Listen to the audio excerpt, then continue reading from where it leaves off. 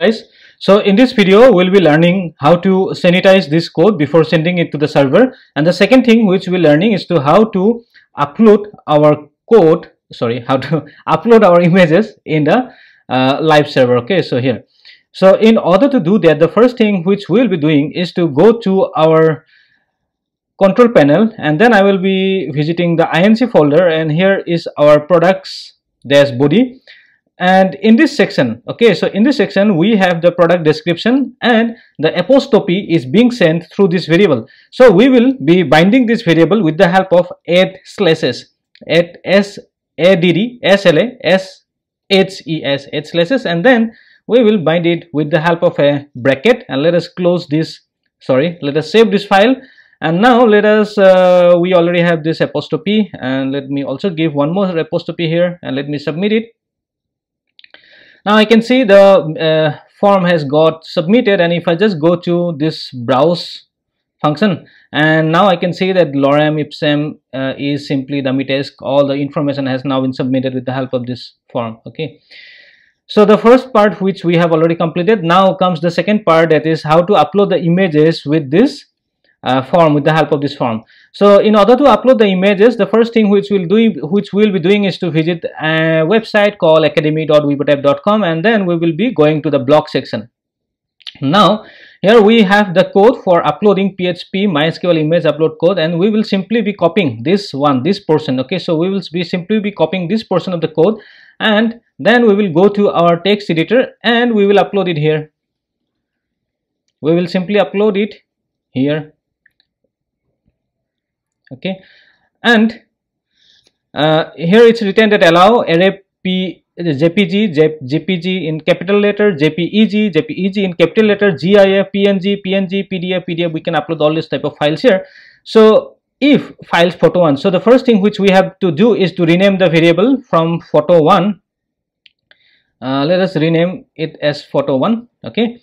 And then uh, here uh, photo one base name files photo one and then name. Then extension we will be checking the extension here. If in array extension so uh, if we if the user updates or uploads an extension which falls in this array then only the file will get uploaded. And then we have to uh, decide the target path. In this case we will be deciding the target path.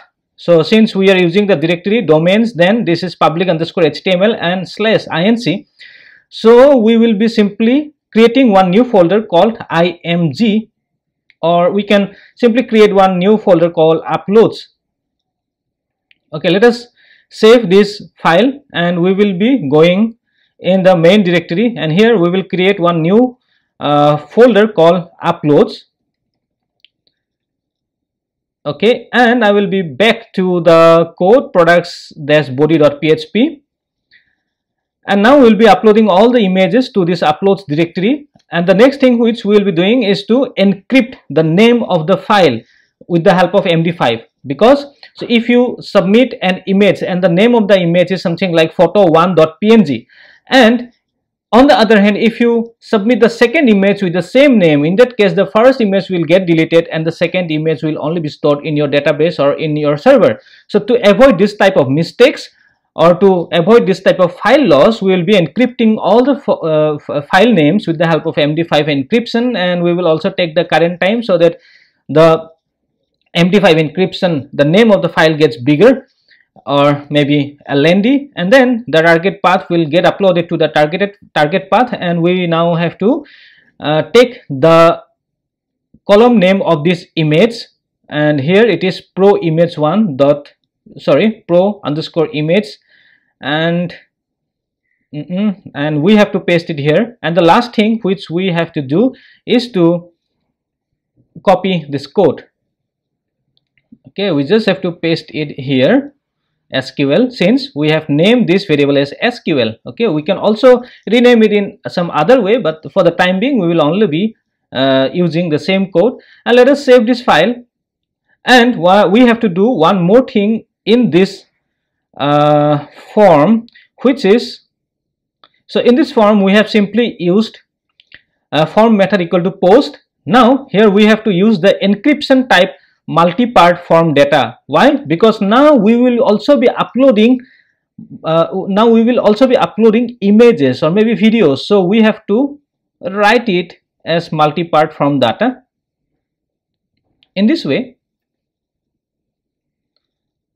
and let us go to the control panel. We are all done. Okay so let us try uploading the photo.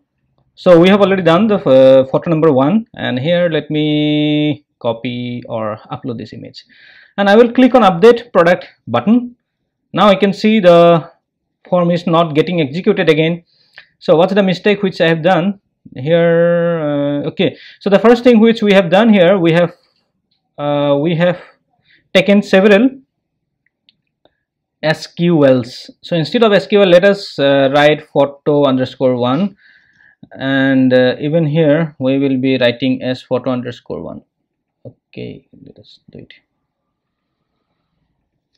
And the directory we will also be uh, uh, renaming the directory because I just noticed that we are accessing the page with index.php and our index.php file is present in this main uh, inside the public inside the root folder. So let us uh, upload it as uh, let us use it as slash uploads. And we will go to products. Body once again let us say if we have to do anything more we have uh, written it as uploads uploads. The name of the folder is uploads. And uh, now we will be upload we will try to upload the page once again. And let us click on the reload button. And here if i just choose the image update product. Let us check what happens. I'm not sure what is going on here. And if i just reload the page and choose this image upload product. Now you can see the form is getting executed. Okay so if i just go to browse and if i check here i can see that 91 25 something like this. And if i just go to the uh, upload folder. If i just go to the uploads folder let us check. Now here i can see that d4 is something like this but this is not the thing which should get uploaded. This is not the thing which should get uploaded and we have to go to the uploads folder once again. Sorry we have to go to this coach once again and which is products body. Let us uh, re remove the forward slash the front for forward slash and save the file and now I will go to the uploads folder once again. And let us upload once one more file here. And upload product. And uh, reload this thing. And the name of the file which is uh, uploaded here is cd122 something like that. And if I just reload this page I can even see it is cd122d05 something like this. So we will be doing one more thing. The last thing is to upload all the files upload all the images. We'll go to inc folder and then here we can see the products body.php file. And let us uh, use some more variables here. Product 2 and product 3 since there are three images and we will be if uh, photo if photo 1 let us copy it and paste it here and paste it here. So i will be using photo 1 instead of photo 1 instead of photo 1 now i will write here as photo 2 photo 2 and photo 2 photo 2 and the name of the column is also photo 2 so we just have to take care of it as well. And the last thing photo 2 now for the third image we will use it as photo 3 photo 3 and photo 3 and photo 3 photo 3 photo 3 and here we have to write is write it as photo 3 the name of the column is pro image 3 and the super last thing that we have to do is to remove this uh, thing. We are all done. And now I will choose three different images. This is the first one this is the second one and this is the third one. And let us update the product. And the form got submitted. Here I can see that three of the uh, files have been submitted with the help of this form. And now if I just close this file and go to public underscore HTML and click on uploads now I can see the first file is uh, let me go to the database. The first uh, file starts something with a.